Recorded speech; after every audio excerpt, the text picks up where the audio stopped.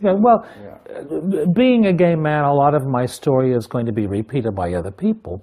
But uh, growing up in Covington, Kentucky, which is, uh, you know, uh, the heart of the Midwest or the, the most northern point of the South, uh, I didn't have a problem in school. Uh, effeminate men were singled out and made fun of in movies and became caricatures and a stereotypical thing for humor. And everyone kind of accepted that. And uh, we were all aware of that kind of thing, sissy boys or whatever names they gave to them. And I didn't have a problem in school. Uh, I never really thought about it much because you become aware of who you are as you mature. And your glands start maturing and you find what you're attracted to. But uh, I remember in junior high, uh, I got up and performed at my sister's homeroom program, which they held in the auditorium, and I danced. And from that point on, it was like about, I would say, the eighth grade. From that point on, my life was changed. I was razzed. I was called names. All of the names, no need repeating them. We all know what they are. And uh, it hurt. It was terrible. And uh, so I became one of those bullied people in school, but I was a good student and I was in all the plays and the speech clubs and things like that. So I had my own thing, and then uh, being in the all and I my in high school, my junior and senior year, I actually did the variety shows.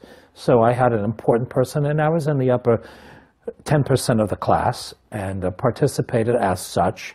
But we did have that element where every time when I walked down the halls, I had to deal with that. It, it was terrible and it hurt, but I was intelligent enough to understand that it was only temporary because I knew I was not going to live there and I knew that I was not going to be a part of them and I knew that I was different from them and I wanted to go to New York. I mean, I went to the movies and I wanted to put on a tuxedo and drink champagne in a nightclub and I wanted to be an actor and I've noticed since I was a kid that I sang and danced and uh, the girls basically all my girlfriends protected me to get me through it. And on graduation day in high school, it was like being let out of Leavenworth prison. I knew I would never be seeing those people again or having anything to do with them because I was going to go to college in Cincinnati at the University of Cincinnati, where I was a theater arts major. They didn't have a musical theater major then, so I got a scholarship at the College Conservatory of Music, where I had a ballet scholarship, and that was because I had danced in the summer zoo opera ballet where all the stars from the Met came down and worked during the summer. And a young girl who was there, Suzanne Ficker, uh, Susie Ficker, who became Suzanne Farrell, the New York City Ballet, uh, we became friends, and she made it possible for me to get a, a scholarship with her teacher at the College Conservatory of Music. And then I studied dance there and I studied voice there. And then my junior year, CCM joined the faculty of the university. And so I got to transfer some of my credits to make them elective so that I could graduate. And uh, then I went on and got my master's and, and got my honorary doctorate at school. So I'm a great believer in that. But what happened when I went to college, and my family was not educated enough to understand all that. I had to do it myself. My sister and I have uh, seven siblings. Only two of us graduated from high school, and I was the only one who went to college because I had a terrific mom who knew that I was different and special and was going to give me the training because I was going to be in show business and I was going to go to New York City. So when I studied, you know, drama at the university, and of course the the thing that helped to change my life was that the professor, Paul Rutledge, uh, became my mentor in school and realized that I had talent and gave me special attention. And uh, basically, my junior and senior year, I was directing and choreographing and starring in all the school productions. And I had a, a, a very educated, intelligent man who was so smart. And he was an, an image for me to emulate and a, a good role model for me to follow, where it was known that he was homosexual. We didn't really use the term gay back then. I knew that basically I was. I hadn't accepted it, but I knew basically what was going on. And that gave me the lead way. And he had also been a psychology major, so he was understood so much. And uh, that helped me so much during that period of my life. The four years I spent at the university were the happiest years of my life because we were putting on shows. I was with other people who wanted to be in the theater and believed the same way that I did. And uh, we didn't really talk about our sexuality, uh, but it was well known that you know what it was, and I wasn't that sexually active. I certainly wasn't emotionally attached for any of that because we all maintained our privacy. You had to. There was one gay bar over in Covington, Kentucky. I never went to it. But one night we did. We all went, you know, and masqueraded, girls and boys from the drama group, the Mummers Guild. We all went one night. And uh, so I experienced all of that. But then when I came to New York, of course, and I got my first job, my first audition with Juliet Prowse, and then I did Sweet Charity with Bob Fosse and then Applause and all the shows that followed, 10 Broadway shows. So I became a part of the theater community. And of course, the theater, as Mel Brooks has always said, if it weren't for the Jews and the gays, we wouldn't have theater. So, and it's true. So, you know, I was lucky because I didn't have to go to gay bars. All I had to do was look in the Chorus Boys dressing room. And they were all certainly attractive, talented, and funny. And so I was blessed to be in that. So that's where I established myself and living in New York. I mean, how lucky can you get? The greatest city in the world. And uh, all the minorities are to the forefront here. We have everything in New York the best and the worst, but we have the best. And so it was accepted in the theater. It wasn't uh, paraded, and people masqueraded. And I know that when I was in applause and uh, then later with 42nd Street, I got a Tony nomination, and that was 1980, 81 maybe by that time, between 80 81, whatever the time frame was there. And uh, the publicist for the show said, well, you know, Leroy, you should probably have a girl be seated with you in the audience because by then, my husband now, Bob uh, Donahoe, was living with me. And uh, I allowed that to happen, and that night during the awards, I didn't win, which was fine. Uh, but I allowed, and Bob sat behind me with another girl from the cast because we did have seats. And I felt so guilty that I allowed that to happen. And I made a vow to myself then that I would never allow that to happen again. Not that people didn't know I was gay and that I was in a relationship. Everyone knew that was accepted in the theater. We didn't have a problem about that. But I wouldn't allow someone to tell me again that I cannot sit with the man I love and not have him by my side. So that was a, a, sobering moment for me. And I never allowed that to ever happen again or to masquerade or not say who and what I was. And I know that it's, it's, it's quite wonderful, the song in La aux Folles, I Am What I Am, which was a line in the show that Harvey Fierstein had written. And Jerry Herman said, It's a great line for a song. May I steal it? May it be mine? And Harvey said, Yes. And Jerry wrote the song, I Am What I Am, which has become more or less an anthem. And I remember when La uh, opened on Broadway, I was in the audience because then I was very close friends with Jerry. And I was doing songs from the show uh, at benefits and stuff after that moment. I was one of the first people that started doing songs from the show, and Jerry did a routine. And then I ended up being the last replacement on Broadway, except they posted the notice after my first week of rehearsal. But I, of course, did many productions afterward. And uh, it became a, a, gay anthem. And I remember uh, the opening night that a lot of the press and uh, Michael Musto, the Village Voice, and people like that were saying, Well, Jerry, is this your announcement that you're openly gay?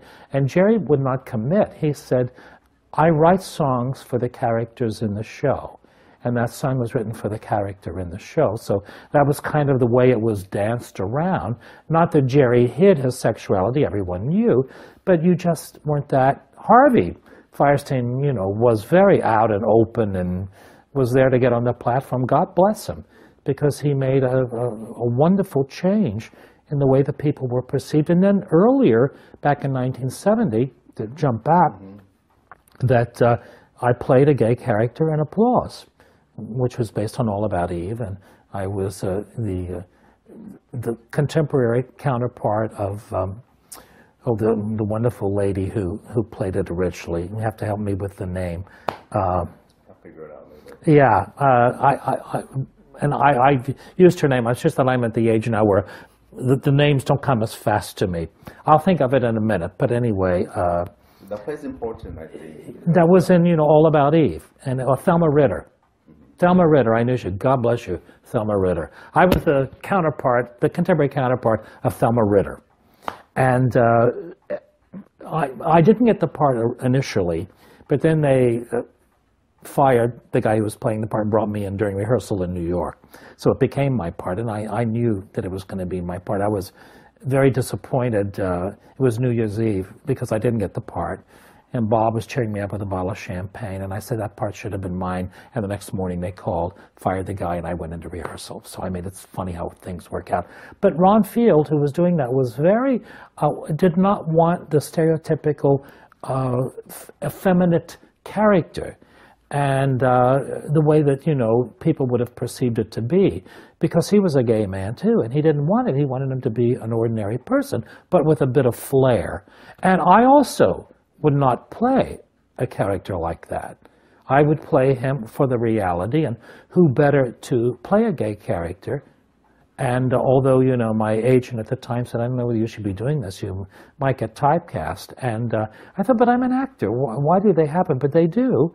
And it does happen. And I'm aware of that. But I, I thought, well, why not? Why shouldn't I play it? I am a gay man. Why should I not be playing a gay part? And uh, we played it as such. And it worked well in the show that I just played him as a real person. And I, the, the relationship between Lauren Bacall and myself proved that. That's why the show worked, and that's why Lauren Bacall and I became such close friends for her entire life. I loved her to death, and uh, it, it, it, was a, a, fascinating time to, to experience all of that. And uh, of course, I went on after that in my career to do uh, the producers where I wore a dress, to do La Cage aux Folles, of course I was a, you know, playing the character and also Victor Victoria. And then uh, two years ago, I decided to play Hello Dolly as a woman, because why should we not, as actors, play sex gender also?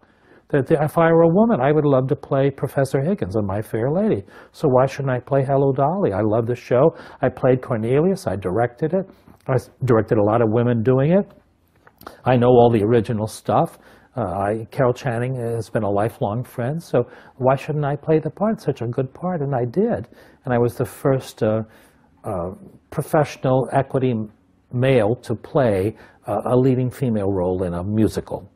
And you know, some of the plays, the guys would masquerade, you know, like the importance of being earnest and things like that. The English would do that, but it was the first time in a in a American musical. So I have it to my credit, and I, I'm very proud of that as a matter of fact, that we've made those changes because there shouldn't be any stipulations or, or typecasting for any actor. We play the roles, and I, have never understood it, but it still happens. But we, we've made great strides, but we still have to deal with it.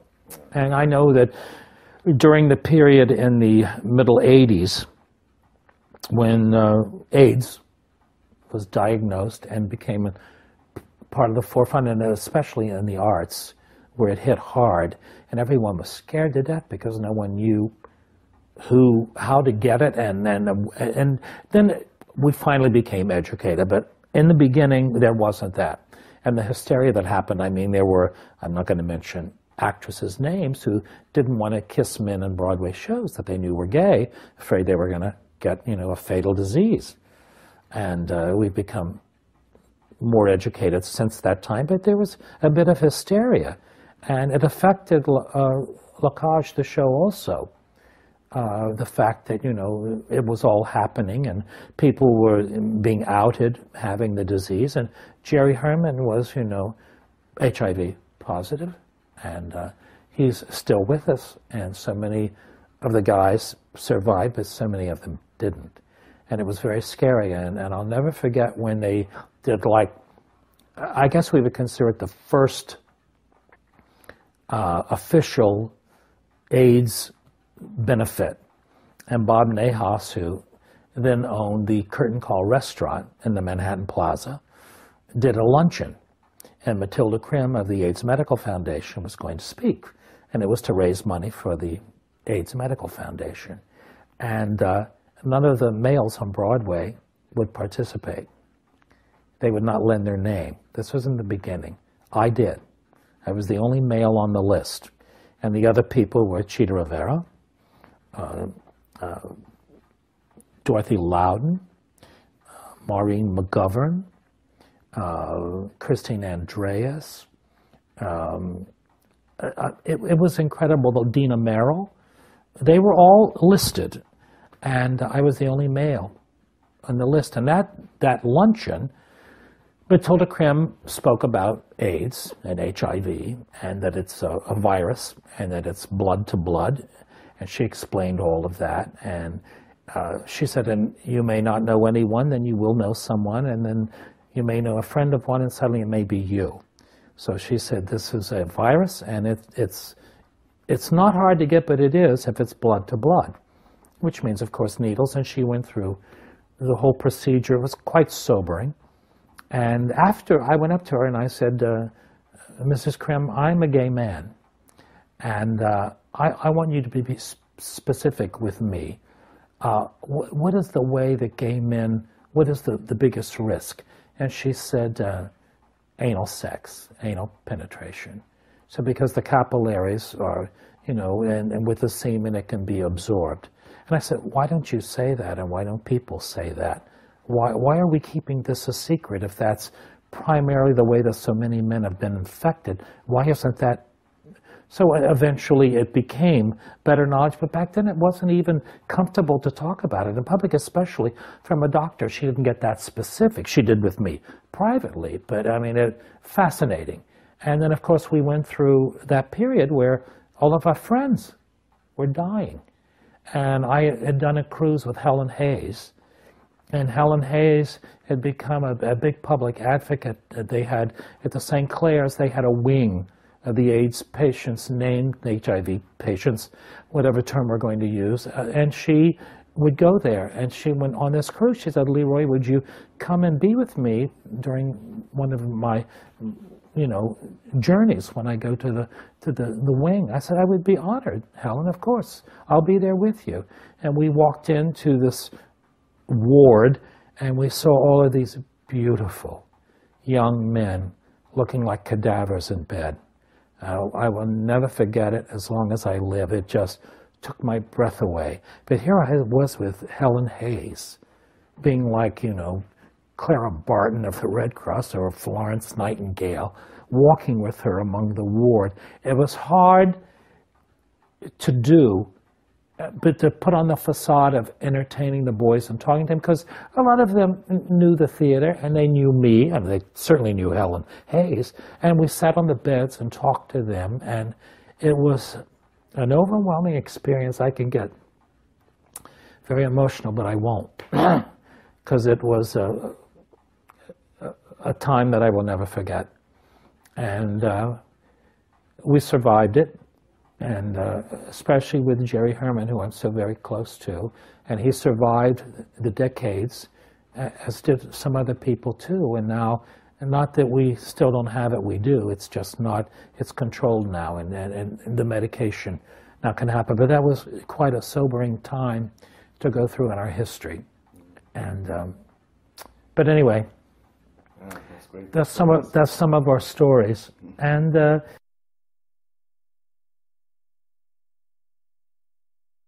Of course, we, I mean, look at the trouble that we have in the Middle East with sexuality still and the archaic attitudes of the world. I mean, you know, we're, we're all trying and, and we still fight the fight. It's, it, I don't know when you're a minority, I guess you're always going to have the fight, but it's certainly much better. And today it's kind of wonderful that, uh, you know, with the, the wedding of Prince Harry and, and Meghan Markle, today that he's marrying a, a biracial lady. And you know and for the first time and also that she walked down the aisle by herself and made a statement we're all still fighting that journey. What we have went through recently with you know women uh, with the women being, you know, the, the problems they have not being paid equally and uh, also being sexually harassed. And it's, it, we're, we're getting better and better, but we're always going to have the problem because the majority is going to try to always work, or at least what they think the majority is. Well, it's like everybody thinks they're normal. First of all, no one's normal. No one is. There's a lot of gray between the white and the black, and uh, and we have to learn to accept that. Living in New York, you have to accept it because we have everything here. But in a lot of the cities, you know, everyone feels more comfortable when you look and act like everybody else. And also, we fight the religious uh, problems that we have with sexuality and equality. But uh, we're, we're continuing to fight, and we will, and it will get better. And the press, uh, thank God in America, we have a free press. And uh, with all the political stuff that's going on now, thank God we have a free press. It's what makes America great and will continue to make it a great nation. And we don't need those other people who profess to make it great who are doing things they shouldn't be doing. And you know exactly who I'm talking about. So, you know, we're, we're, we're going to survive it. We will. And uh, thank God that we have people like Harvey Milk and uh, I spoke earlier of uh, Harvey Fierstein, who uh, such a, who stood up, and the people who are writing the literature, and uh, the filmmakers who are bringing things to the forefront. So people have to realize that we have more in common than we don't. We all have the, the same feelings, and we also want the same respect. And when people can learn that lesson and learn to do unto others as you would have others do unto you, I mean, if you're going to be religious, then practice what you preach and don't just pick out the parts you like to highlight. Read the whole thing. And also, we've progressed a lot since that time and we've learned a lot about ourselves. So you can't go back to archaic writings and take them for face value anymore. We've progressed too much for that.